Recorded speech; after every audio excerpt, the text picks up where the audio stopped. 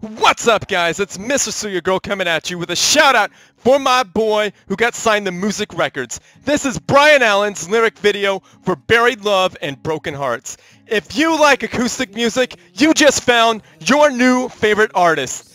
Click the link down below or wait to the end to click get to this video directly. Hit subscribe to Moosic Records and like this video. You will not be disappointed. And stay tuned for the Supreme Commander 2 video. Thanks, guys. What is up, guys? It's Mr. StealUrGurl coming back at you with another Supreme Commander 2 cast. Hopefully you guys enjoyed what little you heard of Bryan Alan's lyric video because he is amazing. Definitely click the link down below and or check out the link at the end of this video because I will have it up there and along with my band's link. Leave a comment on both of those videos. It means the world to me. It's just as good. It's as good as Patreon to me. So do that and I would greatly appreciate it. But anyhow, guys, the map is Open Palms, and let's see who our players are. We got Shadow spawning in as the blue Aeon Commander. He is dropping down a land factory after he gets the eco. That is a thing that people most definitely do. And his opponent is Peanut. He is spawning in as Peanut K, I think that's what he likes being called.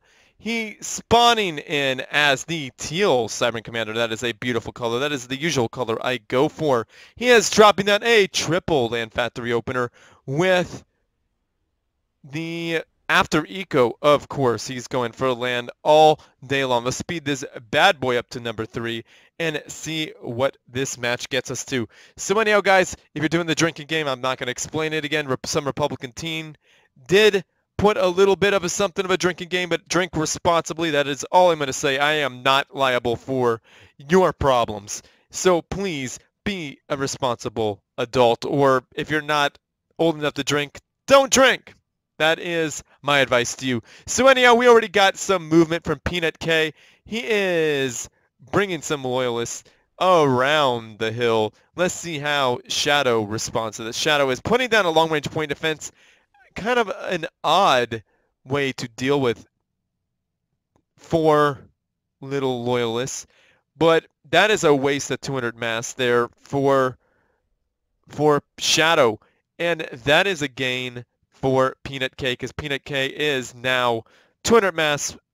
Well, he forced his opponent to drop down 200 mass, and he's forcing his opponent to drop down 200 more mass which this one actually isn't in a bad place. The sense there's a shield right here. That is not a bad idea whatsoever. So that is actually a pretty good spot because if any loyalists come down here, they're going to get blasted in the face by this long-range point defense as well as all these Yanzu. So that is not bad at all. So as we can see, we got Peanut K expanding. He's trying to expand here. This engineer does not have the mass. And as I say that, the curse of the commentator kicks in and that mass extractor starts getting built. And we got a Factory TML, an interesting choice, but not a bad choice if you think about it now that you see the commander going up here. That commander might be building a, took some damage from that Factory TML. That is kind of sad. Then we got vision researched by Peanut K. Is Peanut K doing some ACU uh, tech or is he going to build a factory right here? Now, Kitty is doing the right thing, and Shadow, I think he's Kitty Litter. Shadow is also known as Kitty Litter, I believe, and he is putting down a land factory. I'd like to see that a little farther back because at this range, I think Brackman could hit down in here, and definitely TML could, uh, MMLs and TML could hit all that way. So it's not a problem for the opponent, but this might be a problem for Shadow. However, Shadow could put a put a point defense here and have some nice little crossfire, which would not be a bad thing at all for him.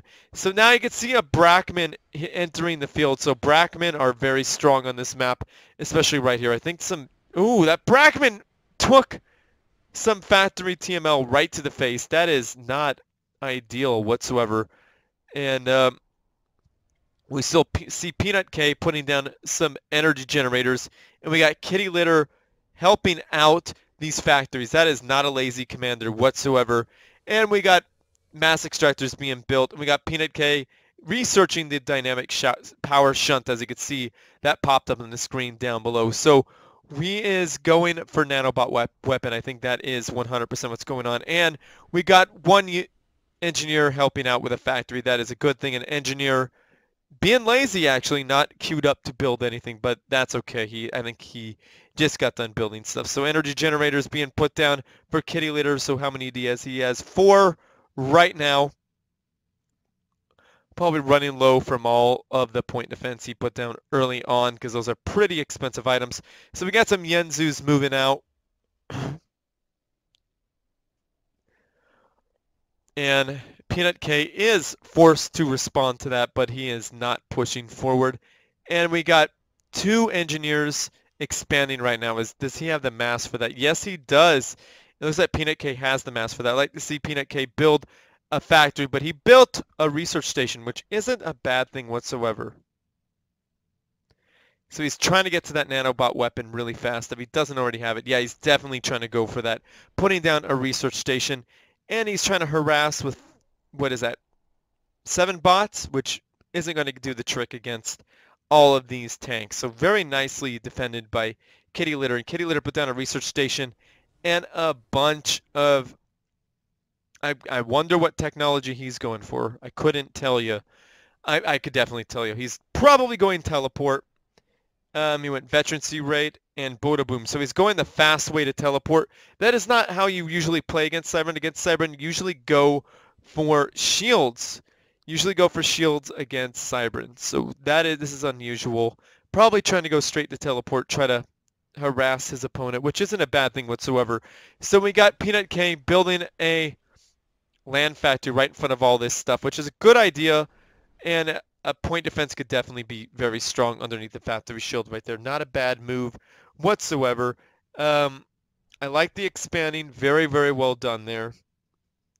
And of course, these players are posturing against each other, seeing who is stronger.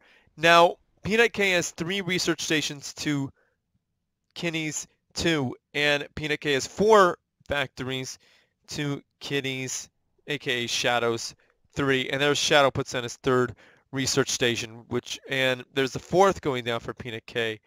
Um, I would like to see some fighting going on. Let's slow this bad boy down and it appears that nanobot weapon has been researched. And this is precisely why you go Chrome Shield and Chrome Shield 100% against Cybran. Because of Brackman, who do massive area effect damage, and units like Peanut K's ACU, who has area area of effect and damage over time with a nanobot weapon. Now I don't see any Boda Booms coming out. Now it looks like Veterancy came at, kicked in with mass extractors, so we are seeing a bunch of factories being built. Kind of a bit too close for my liking. Teleport has been researched by units. Would definitely like to see. Would definitely like to see, not just teleport, but the shields. Now we got a bunch of adapters. I almost called them loyalists. I didn't do it this time, guys. You did not get me. So a research station and a bunch of energy generators. This is what people like to do nowadays. They like to put energy generators in a, in a line in hope that their opponent, in hope that their opponent will walk into it and get blown away. I don't know. Ooh! Nice little snipe attempt. Oh my goodness! Peanut K is down to 2,000 health, less than 2,500. Almost lost his commander, but my goodness. I'm telling you, that area of effect damage did a number on all those units. So all those units for Kitty Litter, aka Shadow, went down very, very quick. That is a sad thing to see happening there. Now we got Peanut K gifted a lot of delicious, yummy, yummy, savory mass. Dat mass, yo, just chilling there, waiting to be sucked up. Is Peanut K going to do it? Will Peanut K repair his commander? All right, so we got to teleport over here. Oh, yes, there we go. We got chrome shields. Definitely, definitely what you want to see on your units. that makes them so, so much tougher. Now, is Peanut K going to respond to his base getting ripped up by Kitty? I do not see that happening. Peanut K is not, um, he's not power detonating either, so that's not good at all. You want to definitely power detonate as the Cybran player. Did that power detonate? No, it didn't. So teleporting to get closer to your opponents. Nicely done there. Now we got some Boda Booms and shields. That makes these units very, very strong. Now, if I were Kitty Litter, I would be switching to something that could do some damage. Maybe get out some experimentals, maybe pop out a snail, uh, Now, That might be a smart thing to do because you need something to cut down those shields. That's a lot, a whole lot of adapter shields because that is deadly. This is a deadly Cyber Death Ball here. We got adapters, we got an engineer, we got a commander with nanobot weapon, we got Brackman, we got loyalists. It is not fun for Kitty to deal with. Now, as you can see, point defense don't really do a whole lot against the shield. The shields are holding very, very strong. Nice little teleport taking out a bunch of units but unfortunately, the units are so clumped up, that nanobot weapon is doing a number on them. And so are those... You see that Brackman hit? Oh! Those Brackmans drop the shields very, very quickly. Some nice little crossfire from point defense doing some pretty good damage, but I don't think Kitty Litter has the units to deal with this. Now, Kitty Litter, if he built an Urchinow and kited it back, he might have been able to cut through those shields.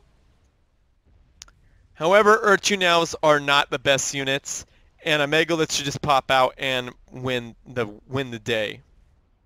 Kitty Litter could have overran him with a bunch, a bunch of units, but that is really hard to do against Nanobot Weapon. With Nanobot Weapon, you want to teleport units in all different sides, teleport them in, and definitely hope for the best. Now, all the veteran, veteran mass was destroyed.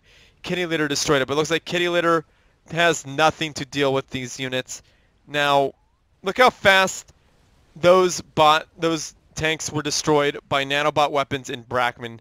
Such powerful things. Kitty Litter, Control Cade, down goes Shadow, aka Kitty Litter. Very well played there, Pina K. Thank you for sending me this replay. It was quite an interesting one. You almost ate, bit the dust there because a well-timed, um, what do you call that, teleport almost got you. So very well played there by both players. That was an awesome job there. Kitty Litter, if you got in there, didn't lose your units early on, that match could have went very, very different. So awesome, awesome job. So tell me, pros, in the comment section down below how to deal with the Cyber Death Ball like that. Urchinow a bunch of units teleporting in all in different times in different spots and tiny groups and so that the nanobot weapon can't just annihilate them and a good micro probably too, huh? So anyway, guys, let me know down in the comment section. So definitely wait to the end of this video and click a link down below or at the end of the video to see Bryan Alan's lyric video. It is amazing. His voice is amazing. This song is fantastic, and you will have a brand new artist to love and a brand new record company to follow if you like music. So anyway, guys, like this video, subscribe to my channel, favorite it because that helps me out. Send good replays because I need them to stealspeaks at gmail.com. And comment some, something down below. Comment what you could, what you think Kitty Litter could have done against the Cybran Death Ball, or say something nice about both players, or this channel or video in general. And if you have, if you feel so inclined to support this channel, click the link down below, go to my Patreon video, and click the link down there to go to my Patreon site and hook me up with some cash. If you can't do that, go to my band's video uh, Black It Out's video. It's in the description down below as well as at the end of this video. And comment and say something nice. Comment and say something nice about the video or go to my boy Bryan Alan's video on musicrecords.com and comment and say something nice. That's just as good as Patreon to me, and I would really appreciate it. So I think it's about that time, guys. What, what do I usually say? I haven't lost it yet. I'm just playing. So share with your friends, family, and foes because they need something interesting to watch as well. And as always, everyone, GG.